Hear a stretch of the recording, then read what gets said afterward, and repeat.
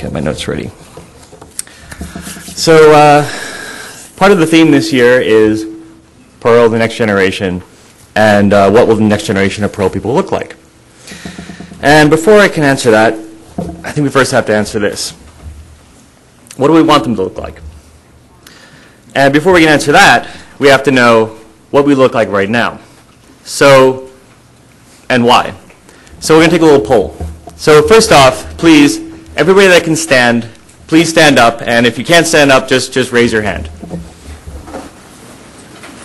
A little exercise in the morning. Oh, God. Yeah, I've got to stand here for 45 minutes. All right. Um, so this is this is our, our control. Everybody that's going to stand up, stand up. Look like everybody stand uh, stand, stand up. Good.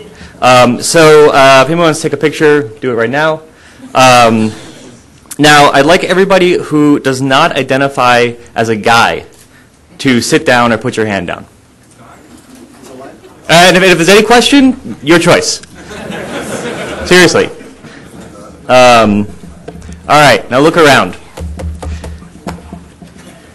This is the question I want to ask you is, why is this room overwhelmingly full of guys?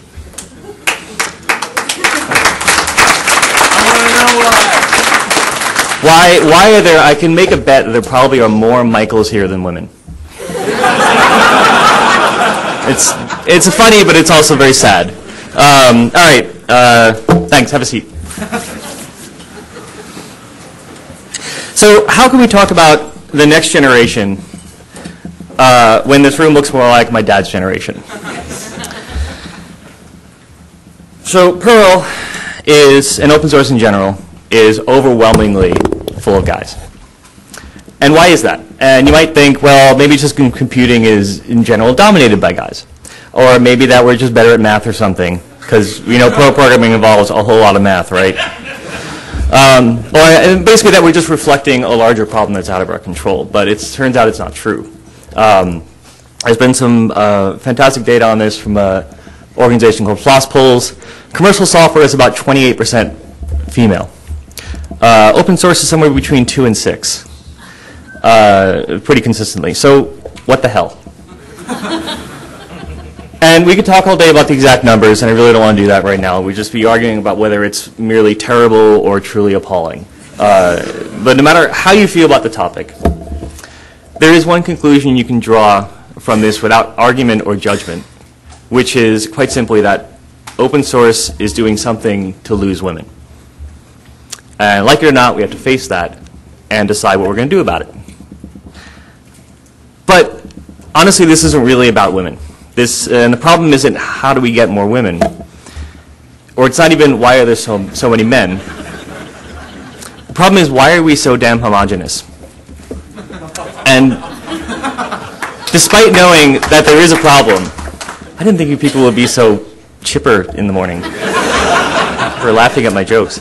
Uh, and being so concerned about it, we remained homogenous. Now, I came into Perl in 1995. I can't do math right now, but that was a while ago. Uh, and we look basically the same as we did then, maybe a little worse. Um, there's more of us, but basically uh, made up of the same type of people. Uh, and there's so many other points of diversity that I could go on about besides gender, talk about race, language, time zone, uh, physical ability, economics, education, culture, and so on. Uh, but quite honestly, gender is so damn obvious that that's what I'm going to use, and I only have 45 minutes. Um, so apologies if you know not covering all the axes here. There's a lot of them. So if Perl and open source have one thing in common, it's their belief in the meritocracy. Uh, uh, the, the, idea that you should be judged based on your merits, your code, and your contributions, not on how much money you have or, or say your gender or whatever else. It's all about the code, your contributions, your work, and so on and so forth. Um, if we had a healthy meritocracy, this room would be about 28% women matching commercial IT, and I'd be talking about something else. Uh, if we had a healthy meritocracy, we'd have 28% female speakers. Uh, I, I, had to do some guessing on the genders, and I apologize if I got anybody wrong. Um, if this were a healthy meritocracy, we would have had at least one female pumpking by now. Uh, and it really pains me to say this, but our meritocracy is broken.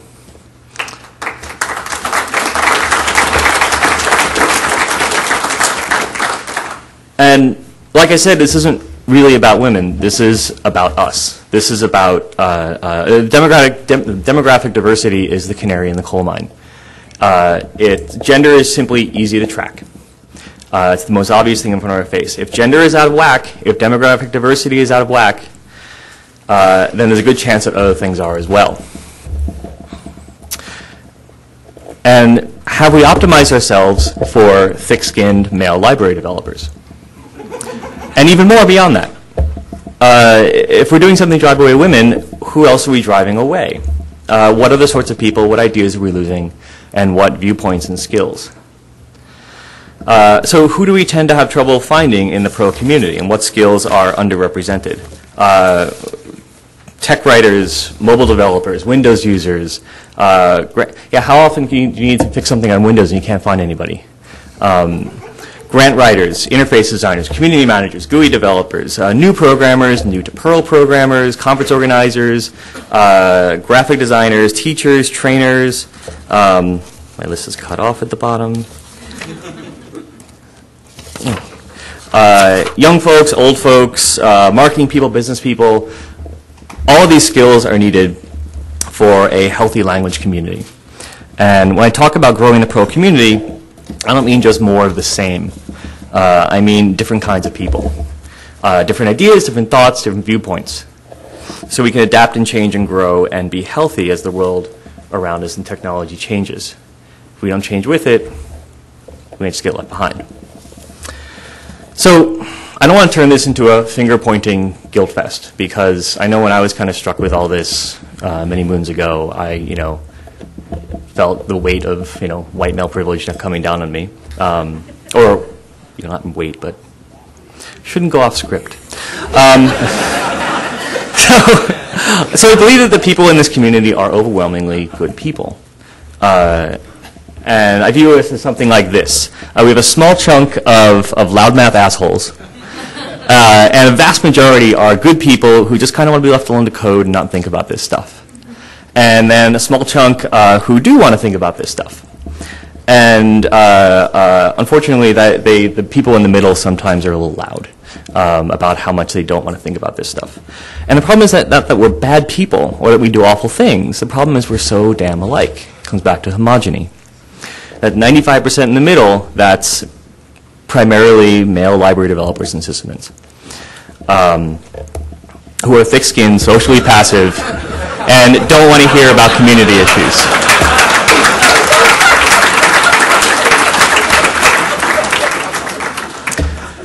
So, I'm glad this is going. So, homogeny breeds more homogeny. It's inbreeding. Uh, and unless you do something about it, uh, it, it just doesn't go away. So it's perfectly natural to want to make a community that you're comfortable in, uh, uh, one that works for you and your friends. But if your friends are all like you, uh, and if the same things make them comfortable and uncomfortable, if you all if they all want the same things, then you're going to optimize the community for them. Uh, if you uh, the more you optimize for you and your friends and people like you, the less it will work for people on the fringes, and they will start to leave, and they will start to not, and they will not come back.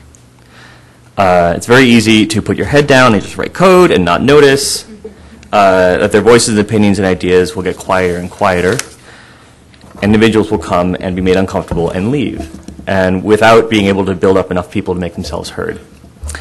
Until one day, there's more Michaels than women, and we're all just agreeing with each other while the rest of the world moves on and forgets about us. And that is why I think this room is full of white guys. um, so the women are sick of trying to tell us this. Uh, and it's about time the guys started dealing with their own crap. So, and I'm sick of the situation after 17 years in Perl. Uh, and I'm sick of seeing my friends leave or be immediately turned off. Uh, I'm sick of seeing people told they just have to deal with it. Or if they don't like it, they should go start their own group uh, well, I am really not the best person for the job. And I've honestly been freaking out about this keynote for months. And I'm really glad you were laughing. Uh, and I'm not the first person to come up with anything that I'm going to tell you.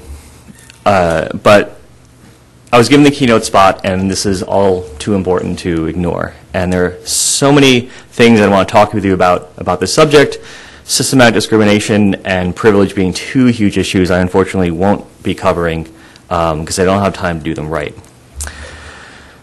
So I'm going to do the best I can to get the most of you I can thinking about the problem and deciding if you want to solve it and how you're going to solve it. Because you are smart people, you're good people, and you're very good at solving problems.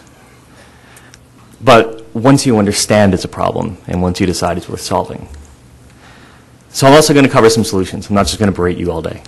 Uh, and solutions that we can do as a group and that we do as, as individuals. In order to do that, first I have to bring up a really touchy topic. One that you probably have very strong feelings about. And it might divide the community just by bringing it up. I'm of course referring to starship captains. so, let's take a little, another little poll, and I probably you don't have to stand up this time. Uh, raise your hand. Uh, you can raise your hand. You can vote more than once. You can raise your hand more than once. Uh, raise your hand for Kirk. Okay. Uh, Picard. Oh wow. Okay, excellent. That's a good good sign. Uh, Sisko. Okay, less for Sisko. Uh, and Janeway. Okay, and uh, finally Porthos. we know who's really running that ship. uh, and uh, uh, let's talk about the two most iconic captains, Kirk and Picard. Two very different starship captains, 25 years apart, each for a different generation. Captain Kirk from the original 60s TV show. What does Kirk do in the crisis? Kirk, Kirk takes action. Kirk gives orders. Kirk is decisive. Kirk beam down, beams down to the planet. Kirk punches the alien. Kirk kisses the girl. Kirk, Kirk, Kirk, Kirk, Kirk, Kirk, Kirk. It's all about Kirk. Maybe he talks to his two best buddies. but it's all about Kirk.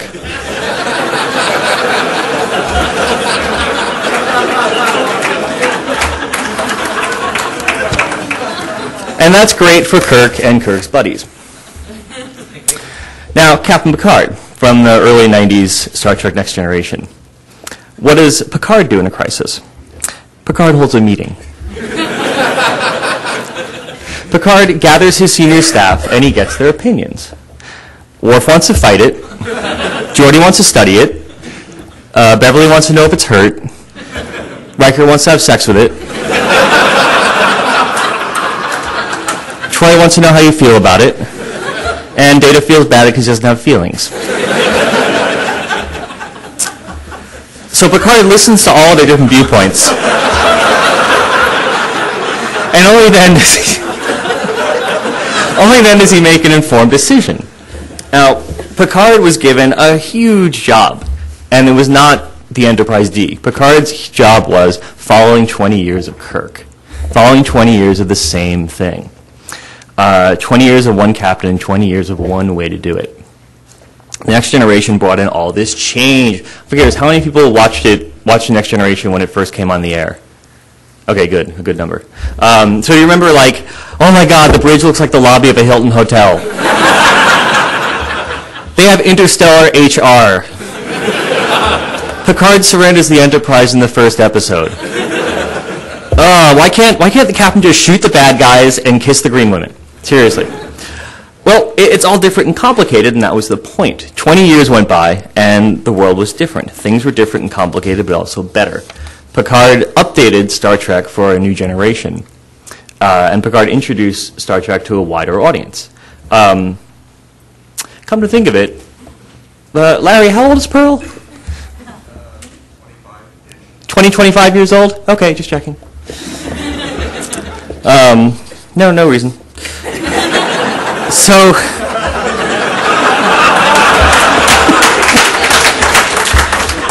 Kirk, Kirk gave us three seasons, and Kirk kicked that all off, and that we wouldn't be here without Kirk. Um, Picard, Picard gave us seven seasons and kicked off two more shows with 14 more. So, there you go. Uh, good segue to uh, talking about why I'm getting old. Um, in the in the finest tradition of uh, Larry's keynotes, I'm going to talk about my eyes. Uh, so now I'm getting old. You get to hear about the medical issues. Um, uh, a couple months ago, I went to get my eyes checked. Uh, the wonderful American healthcare system um, hadn't happened in a while, and I found out I have a blind spot. Uh, I lost some of my field of view in my left eye to uh, pigmentary glaucoma. Now, interestingly enough, um, I can't see the blind spot even after it's been pointed out, which is kind of weird, right? Um, I can't even like trick myself into seeing it. It doesn't, it doesn't work. Um, my brain tricks me into thinking it's just not there. And if my doctor hadn't pointed it out, I never would have known. And I would have inevitably lost all sight in my left eye irreversibly. Now, I can keep it from getting worse with some eye drops. So once it's pointed out and once I know about it, even though I can't see it, I believe what my doctor said, and I take my medicine. Well, it's a good thing I went to an expert, and it's a good thing I listened to them, and it's a good thing I did something about it. So Perl has a blind spot. Uh, it's, and I feel it's its lack of, of diversity. Uh, Perl has lost, you know, 80, 90% of its field of vision. Uh, it's lost people and their ideas. And even after it's been pointed out, Perl cannot see that blind spot. Uh, because we do not know what we do not know. And if we keep going like we've been going, we never will. Now, fortunately, unlike my blind spot, that's uh, nerve damage, Perl's blind spot can be fixed. Uh, but if and only if we do something about it. Because what I can tell you is if we do nothing about it, it'll just stay the same. So Perl's blind spot looks like this. And let me tell you, we had machines rendering for hours on these. um, uh, this, this is how much of the Perl community that we, we can see. Uh, that you know is on the IRC channels of mailing lists and everything else. Um, these are the Perl users that we know about. These are the Perl users we don't know about. And this, this is kind of all the potential Perl users that we could be, we could be hauling in. And we like to think that we are the Perl community, that, that uh, irc.perl.org and P5P and the Perl.org mailing list and YAPC and CPAN and Perlmongers and all that is the Perl community, but we're not. And I'm just going to give us a name. I'm going to call us the Perl.org community just so we don't keep saying community back and forth. Maybe I'm talking about the TV show. Um, now, who, who is the community and who owns the community? These are very good questions. And who, who gets to set the rules for the community, which is very, very important. Uh, the people who currently make up the Perl Perl.org community, do they, should they be setting the rules? Um, the people who already use Perl, well, that's a little better for getting more people in. Uh, the people who you, you want to see using Perl, it's almost there. Uh, the people who want to use Perl should be the ones that we're building the community for. Uh, the community should be built not just for the people here at YAPC, and not just for those on IRC, and not just for the people on the Perl.org mailing list, and not just for the Perlmongers, certainly should be built for all those people, but it should also be built for the people who use and want to use Perl that we don't yet know about. How do you do that? Well, you start by getting people representing all the different types of people. Uh, blah, blah, blah. You start by getting people representing all the different types of people at the table as you can. You give them voice, power, and responsibility. You give them empowerment. Uh, so they can't be ignored or forgotten about in the sea of white male, uh, thick-skinned developers. And then you all build from there together, just like being Picard with his bridge crew. You build a senior staff uh, representing all the important decisions, uh, all the important viewpoints on, on the ship. Uh, you have them present for all the important decisions and discussions, and you listen to them. So, full segue. Uh, most of you know I maintain a bunch of really important CPAN modules, such as ah, um, and and uh, you know things like other things like TestMore uh, that you, everybody uses for testing and Test Builder that all the other test modules are built on, and MakeMaker that handles most module installs. So if you're if you're using a mod if you're installing a module, you're probably using my stuff. So let me ask you something. Why am I allowed to control how you write tests and install modules? And you might say that uh, it's because I'm doing good work. Well, that's not really, well, that's not really true. Uh, but that's not why. Uh, and it's not because I'm the best person for the job. It's not because you all decide. It's not because you all decided I'm the best person for the job. Uh, it's not because you think I should take care of it. So 10 years ago, I led a drive to build a better testing system and and uh, grabbed the namespaces for TestMore and TestBuilder, along with Chromatic and a bunch of other people. Um, and 10 years ago, I led fixing up MakeMaker and shoved it onto CPAN and got the namespaces. Um, and so 10 years ago, I took over some areas that were languishing and did some things of merit.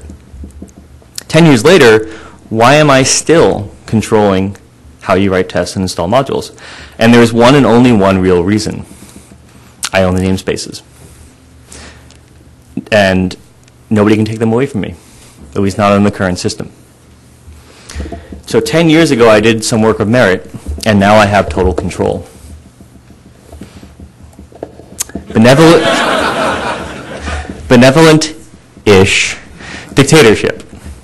Uh, not meritocracy, but dictatorship. And when I'm done with them, I'll hand them off to somebody I trust, which now becomes inheritance. And the government, government of inherited dictatorship is an aristocracy. Most of Perl works this way. Perl has become an aristocracy, not a meritocracy. Now, there are some projects that buck the trend, uh, and the system, but the system continues to encourage aristocracy and, and dictatorship.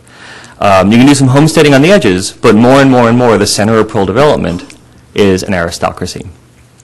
And aristocracies are very resistant to change. Uh, dictators have blind spots. If the dictator has a blind spot, the whole project has a blind spot. If the dictator hands off the project to somebody of their choosing, the successor will likely have the same blind spot. And this is part of why we are so homogenous, the aristocracy.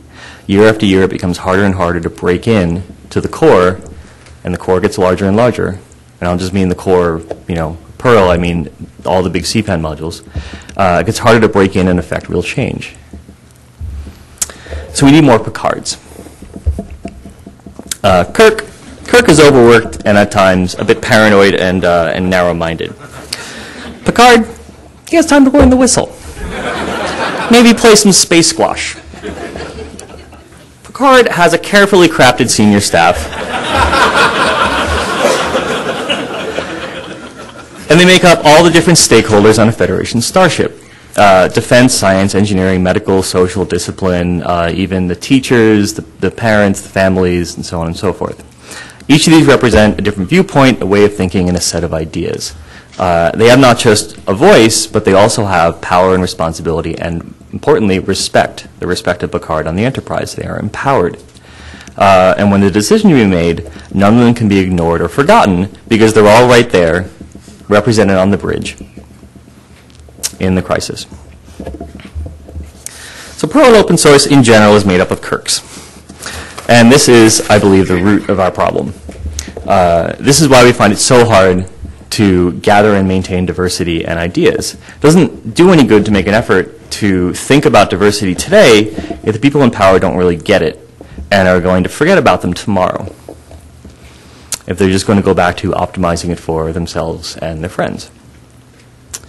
It's like letting carnivores do the meal planning for vegetarians. Oh boy, another raw veggie platter. Or letting car drivers design bike lanes. so nobody eats the boring veggies.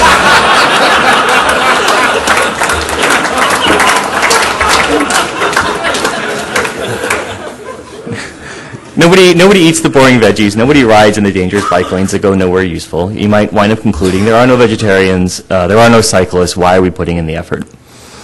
And that's because it's not if you build it, they will come. It's if you build it for the people and maintain it, it will come. They will come.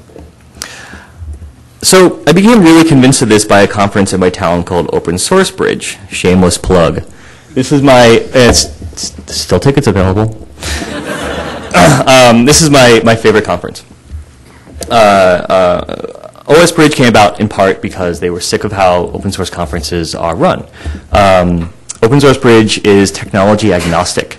Uh, they, it's not so much about how you do it as what you're doing, what you're doing with it. Nobody cares if you're optimizing your Postgres database. They care about what you're putting into it. Um, OSBridge is explicitly about having all the people involved in open source, uh, not just developers. Uh, users, admins, businesses, institutions, designers, journalists, newbies, old bees, whatever. Uh, the talk proposals are all public, and they're open to community comment, and anybody can apply to be on the talk selection committee. Um, OSBridge has 25% women speakers. Uh, and I was told uh, LinuxConf Australia hit 25% this year. Um, uh, men and women speak at the same time. Uh, it's you know amazing. Uh, you know, women appear everywhere, uh, and it's really no big thing. And they solved this. They solved reams of typical open source conference problems with a fairly simple trick: equity at the top. When they set up the conference committee, they made sure that it was made up of different kinds of people, different genders and races and viewpoints and languages and jobs and interests and concerns, all part of open source. They all had responsibility and they had power and they had voice. Um, and they all made sure that they were all right there from the start and they all made sure that when things were getting set up, everybody was being taken into account because they were all right there with their voice and their power um, right from the beginning to the end. And this isn't to say it wasn't hard and tricky work and dedicated, but it worked and it continues to work. I think they're on year three. Um, so instead of building a broken system dominated by a single set of concerns and then trying to fix it later,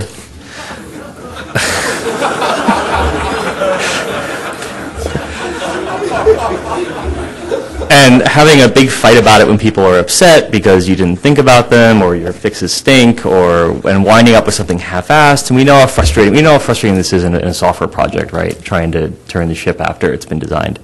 Um, they designed it right from the start. And like the best designs you don't even know it was designed that way. Uh, it just all works and it flows um, beautifully from equity at the top. And the rest of it works itself out uh, there's a, a, reference, a reference at the end, uh, if you want to read more about this, open source citizenship um, uh, at the end of it. So you might be thinking, a lot of people say, right, okay, that's a conference. Um, are there any software projects that work that way? And the answer is yes, quite a bit. Uh, the Apache Software Foundation, not just a web server. Uh, Apache has over 100 projects of all different types and different languages, um, most of which started as Kirks all of which are now Picards. Uh, they will not allow a Kirk. Um, so we're very lucky to have uh, Noirin Plunkett here, Executive Vice President of the Apache Software Foundation, and uh, she's going to give a couple talks about how they do it, so we can get to see another way to do it.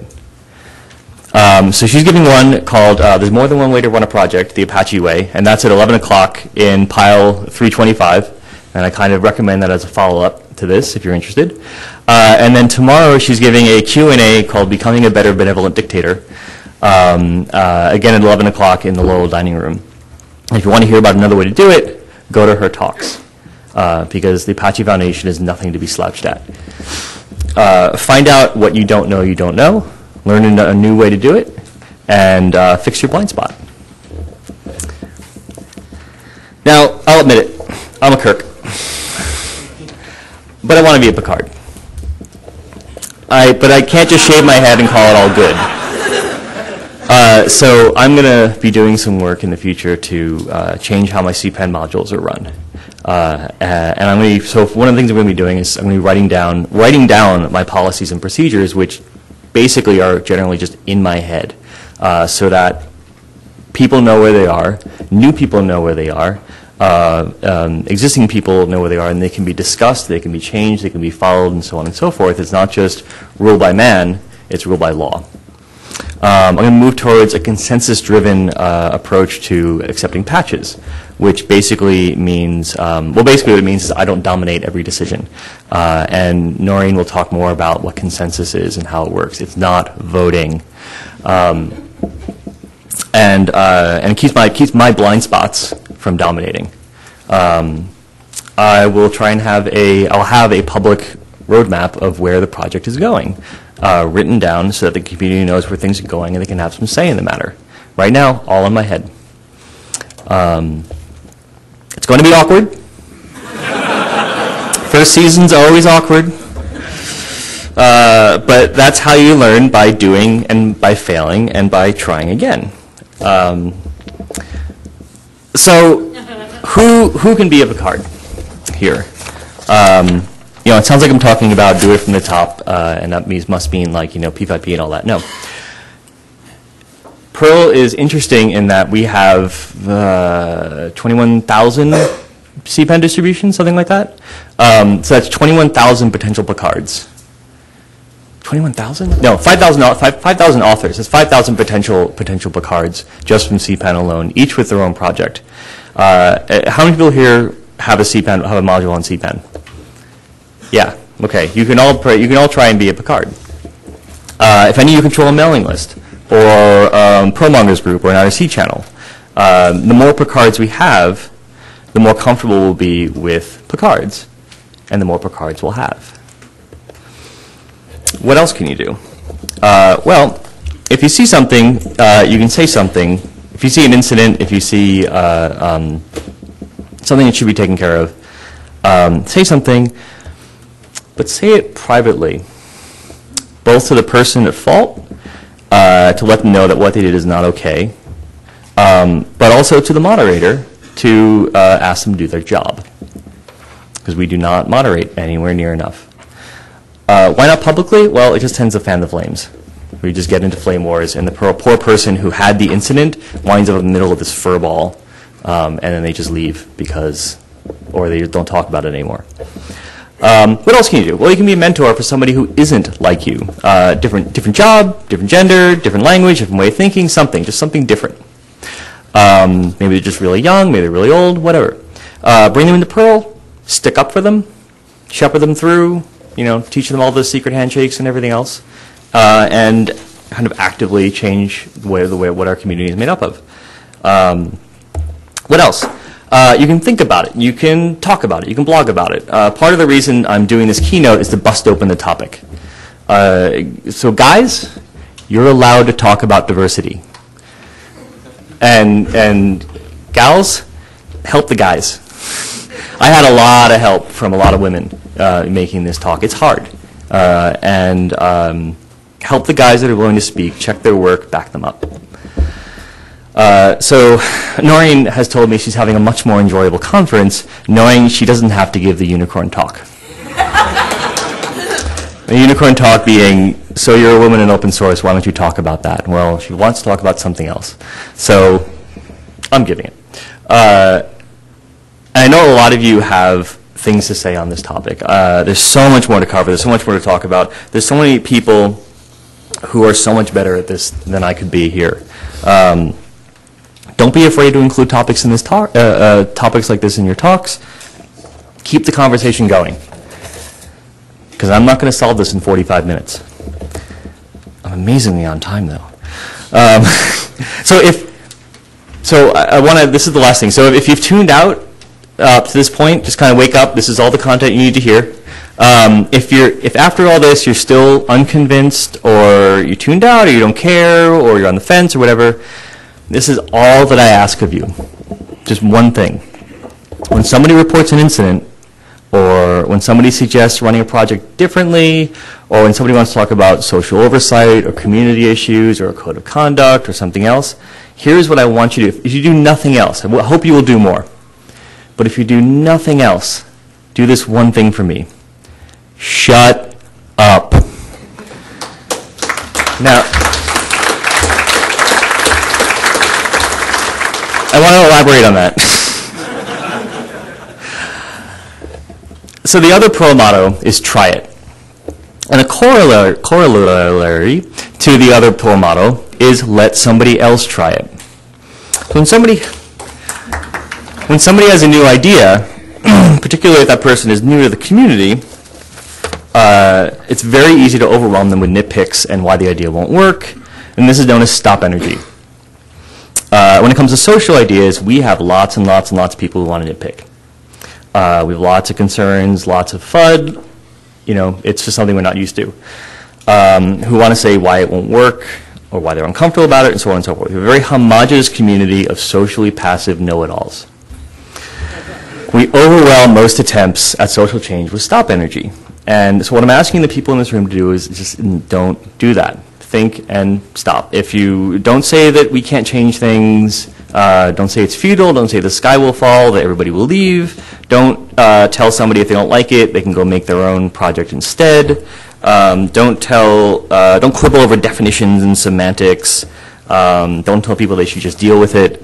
Uh, just let somebody else try it. Um, if you must comment, do it on your own blog or a different thread or, or whatever. Don't hijack their, their energy. Um, let them have their space to succeed or fail. And if you have concerns, maybe try working with them instead of stopping them at the start. Because uh, we've been doing it the same way for 20 years. Let somebody else try it another way and see what happens. Uh, it might just work. There might just be more than one way to do it. Uh, but we'll never know unless we try. And uh, so what I ask is please, please honor the other Perl motto and please let someone else try it. Otherwise, we're just going to have the same generation over again. But this time it's going to look a bit awkward.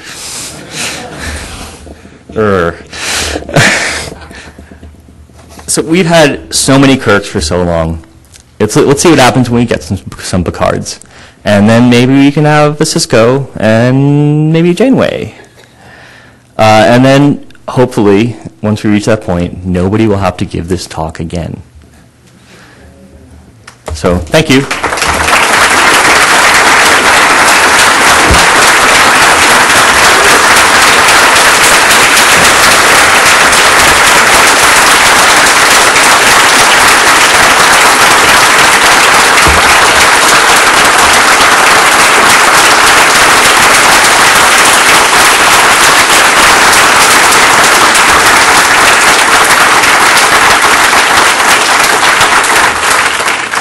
Um, so I, like I said, I, I, these are not fresh ideas. Um, I want to reiterate that uh, Noirin is having her talks. Uh, there's more than one way to run a project uh, at 11 in Pyle 325. She's doing Becoming a Better, Better Benevolent Dictator, which is basically a Q&A. If you are a benevolent dictator and want to know how to run your project differently, she will talk about that. Uh, there's a, um, oh, I don't have the URL up here.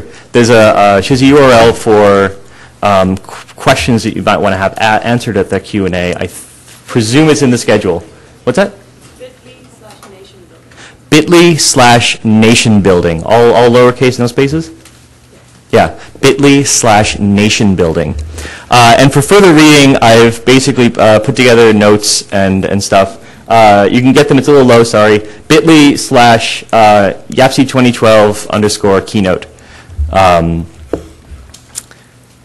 and that contains a lot of the references here, the numbers that I've been using, um, things like Audrey Eschright's uh, open source citizenship, um, the, the, the merit, various merit, the meritocracy's broken arguments, um, uh, a fantastic one called um, Why Biology Demonstrates Why There Are No Women in Open Source. Hint, it doesn't.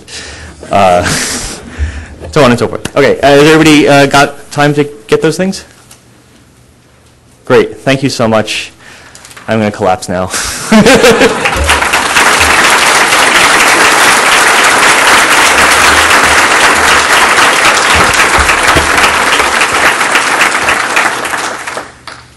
Am I under time? Jokes. Jokes. I could just show you images that I didn't put in the. no. I. I have one hour of sleep. I'm not taking questions. Sorry. Catch me, catch me in the hallway. Catch me uh, uh, anywhere else. Um, seriously, but I, I, I literally have one hour of sleep. Uh, I can't feel them. Uh, but catch me anywhere else. Um, and also, you can ask me on email, uh, at pobox.com, and um, pretty easy to find.